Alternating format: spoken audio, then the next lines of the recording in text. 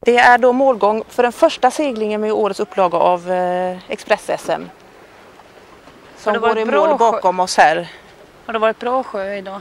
Det har varit fantastiskt väder. Vi kan inte önska oss bättre väder. Det är någon där uppe tror jag som tänker på oss. Nu är de klara här alltså? Ja, nu kommer skott.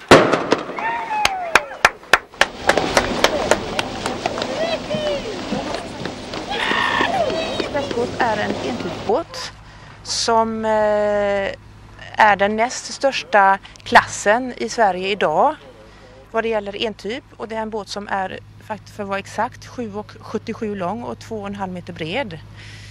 Alla ombord är här nu fyra personer, de har rätt att vara tre eller fyra eller fem. Men alla har tre styck, fyra stycken med sig ombord idag.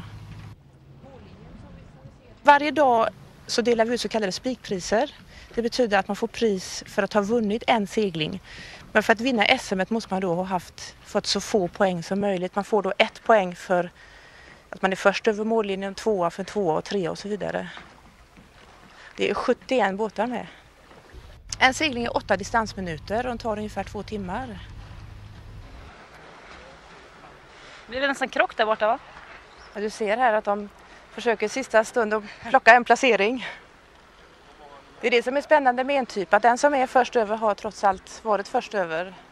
Vi har ju en hel del kända personer på banan utanför startlistan framför mig så kan jag till exempel nämna Fredrik Löv, Finnjolle-världsmästare. Vi har Mikael Kollberg som är en av favoriterna från Mariestad.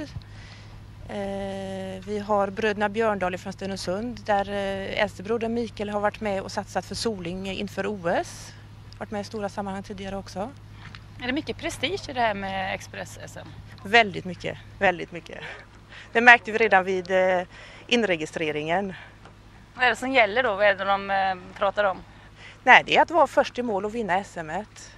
Och tittar man på båtarna så är det ganska mycket skador så att man inte är rädd för att krocka om det skulle behövas fastän det inte är tillåtet. Att segla entyp är roligt så tillvida att det är den som är först i mål som vinner en segling. När man seglar så kallad lys så har man ett handikappsystem och det ska räknas om efter målgång och det kan ofta ta en stund när man vet vem har egentligen vunnit. Det kan ju vara en båt som kommer tvåa eller 20 eller 25 som har vunnit. Nu efter målgång här då så kommer man att förbereda inför nästa start omedelbart. Det innebär att eh, målflaggan som ligger på en boj här ute kommer att flyttas så att startlinjen kommer att bli 840 meter ungefär. Och de metrarna kommer, räknar man ut genom att multiplicera antalet båtars längd med en och en halv. Varje båt har så här rätt till en och en halv gånger sin egen längd. Och det är nästan samma båtar som kommer mål nu som startar snart igen? Ja, all, alla de här båtarna kommer att starta i nästa segling igen ja. Och det är väldigt mycket tävlingsnerver med i det här och det märks på seglarna framförallt vid rundningar blir tajt. Det brukar bli väldigt högljudda rundningar. Men det som är så skönt att se att även om man kanske skäller ut varandra på land så efter en kvart på land så kan man faktiskt krama om varandra och vara kompisar igen. För det är koncentration som det handlar om? I allra högsta grad. Det finns väldigt mycket vilja.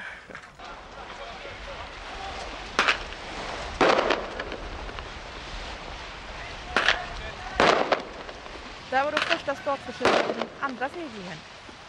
Och I och med att det var så många båtar som var över linjen så blev det allmän omstart. Det var allmänt kaos också? Ja, precis. Det är just det det var. Det var för många som var över. Och så att vi får göra ett nytt startförsök så fort alla båtarna har kommit ner. Hur långt ska det ta innan det sätter igång? Det tar inte många minuter här nu utan det är när seglingsledningen har fått koll på läget så att säga igen så, så görs nästa startförsök då.